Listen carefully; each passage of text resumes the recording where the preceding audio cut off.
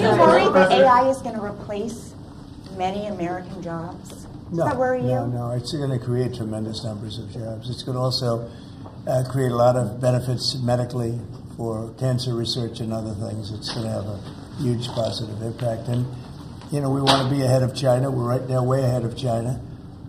Uh, David Sacks is one of the all-time experts. You know, that people are amazed that he, you just met him. I don't know if he's still here. There he is.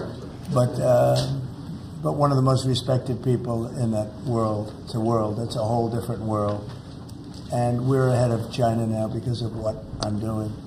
And I think it's going to be very successful. President, yes, please, you just asked the Davos Forum again that NATO countries should spend 5% of GDP on defense. Yeah. The United States don't spend 5%. Well, I- think I it don't should also think so. apply to the United States? We're protecting them, you know.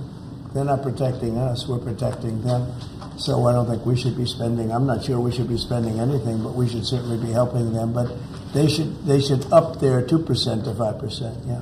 Mr. You- President, Mr. Mr. President, President, what did Mr. you President, you said earlier during your speech at Davos that you would like to see interest rates come down. How Yeah. much would you like to see them come down? A lot. you talk I'd with like to see them come down a lot, and oil prices will come down. And when oil prices come down, everything's going to be cheaper for the American people and actually for the world, but for the American people. So I'd like to see oil prices come down. And when the energy comes down, that's going to knock out a lot of the inflation. That's going to automatically bring the interest rates down. Are you worried Mr. President, you said that you would demand